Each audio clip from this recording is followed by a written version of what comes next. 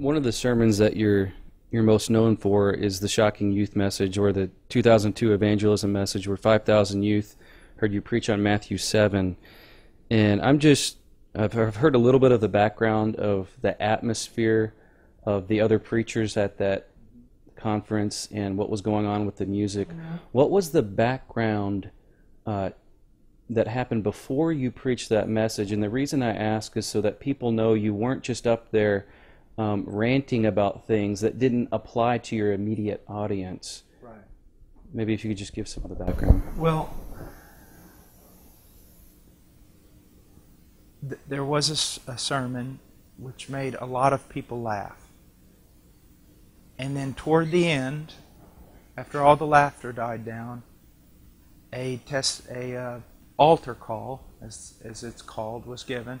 And somewhere around, I don't know, I, don't think it would be wrong to say two to three thousand kids uh, went forward and laughing and all sorts of things. I'm sure there were some sincere, possibly young people in that, but it, it just seemed to me to be, it was shocking. I mean, uh, as I watched them, as I looked at them, I was thinking, where is the reality of Christ? Where is the reality of sin? Where is the reality of salvation, hope, eternal things? Nothing. It was like Pavlov's dog, you know, in the in the in the in the experiment where they tie a dog down and they electrocute him and electrocute him, and then they let the the, they take all the bands off the dog's legs and they electrocute the dog, and the dog just stays there. It's, they're trained to respond to stimuli. It's the same way. It's like so many of our youth have been brought up with this idea of altar call and this is what you do and you go forward. Not so much to blame the one preaching, it's just what our whole Christian culture has created. It's this idea of after the sermon you go forward. But the reality of, of Christ and of conviction wasn't there. And, and I'll argue with any man, it wasn't. I was there. Also, at that, at, at that conference, there was a young man who had been from, greatly persecuted, kicked out of his home, everything else, from a Muslim family who, who got up and shared.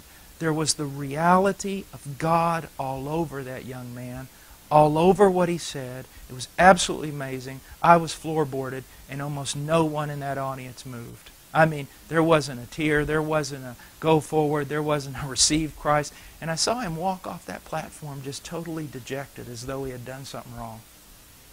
But I think the big thing that got me is when the supposed worship band or whatever came out, and all the students ran forward to the stage and were jumping up in the air and screaming and everything else. And my wife was there on the front row, and three or four times a young man bumped into her so hard while he was doing his whatever they were doing, slam dancing or whatever you want to call it, almost knocked her back in her seat. And finally, she had enough. She pushed him halfway across the the thing uh, to protect herself.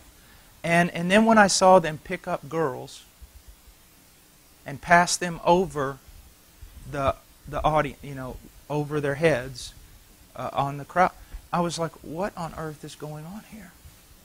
But it, nothing. I, I, the moment came is when, when I said the first few minutes of that sermon uh, about American Christianity, and then everybody clapped. What you need to know is that salvation is by faith and faith alone in Jesus Christ. And faith alone in Jesus Christ is preceded and followed by repentance. A turning away from sin, a hatred for the things that God hates, and a love for the things that God loves. A growing in holiness and a desire not to be like Britney Spears, not to be like the world, and not to be like the great majority of American Christians, but to be like Jesus Christ.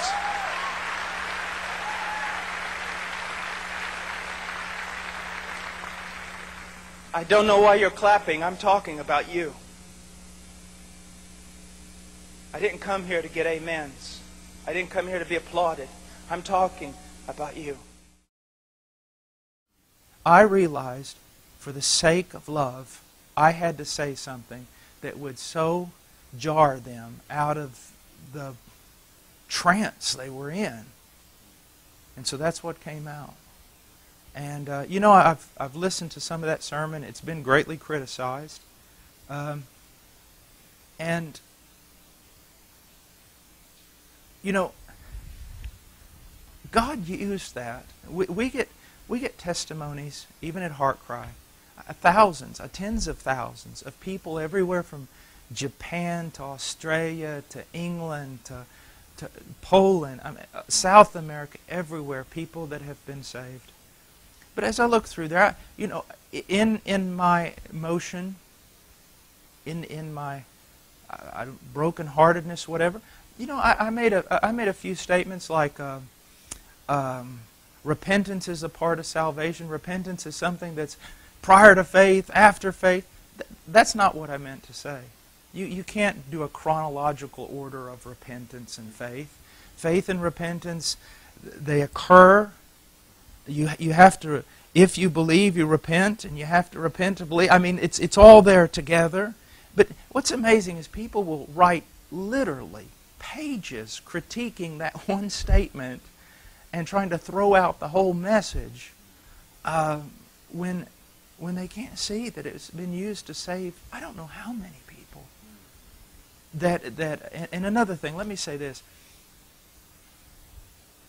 at, at the office at HeartCry, I, I have probably almost never heard any sermon I've preached on the internet or any blogs about me or any criticisms or any good things said. Because when all this started, quite unknown to us because we didn't put it out on the internet, um, I knew that if I read things that were positive, it could greatly, greatly tempt me and turn me away from Christ with flattery.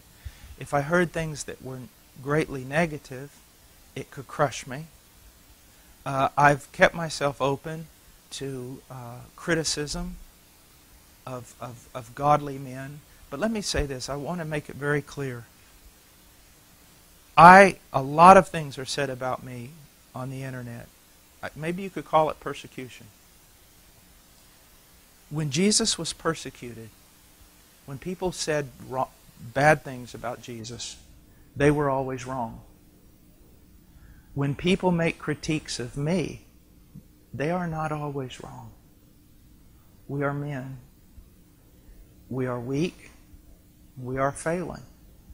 And I just want people to know that, that when someone says something about me that's not very positive, they may be right.